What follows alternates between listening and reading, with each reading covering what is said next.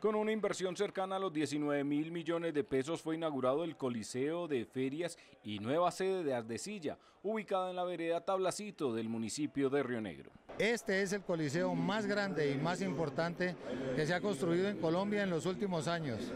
Y en esta pista y en estas graderías que estamos viendo aquí atrás, se escribirá la historia del caballo de paso y del caballo trochador, trotón galopero, trochador galopero, del caballo criollo colombiano. Este será el nuevo referente para la realización de las más importantes ferias equinas del departamento y el país.